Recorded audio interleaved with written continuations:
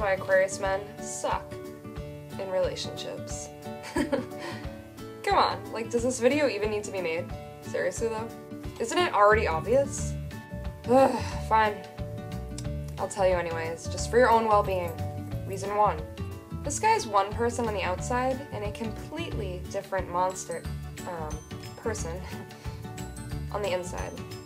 He's full of baloney and never lets you see the real him, which is probably a good thing. Actually, it is a good thing. no probablys involved. Instead, he just acts the way that he thinks he should so that he can avoid conflict. And then, in turn, you know, like not be honest at all and lie about mostly everything. Reason two.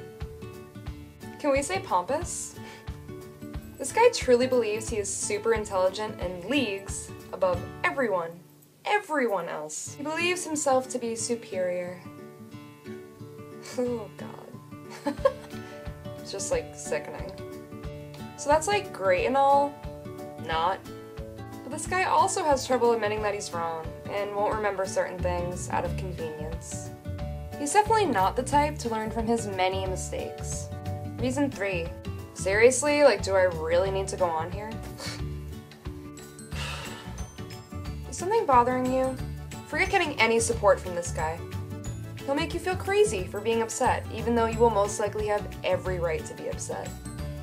And then he'll disappear and not offer any support.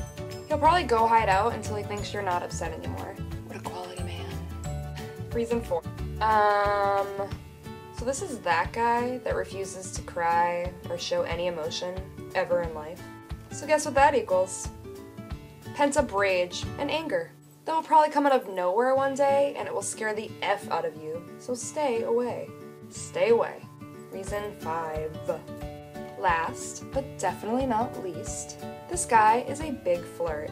God, that's hot. So he also doesn't mind flirting leading to other things. If this is your cup of tea, please boil away. Actually, no, don't, because you're gonna get burned. So that is five reasons why Aquarius men suck in relationships. If you don't believe me, then I feel bad for you, son, daughter, whatever.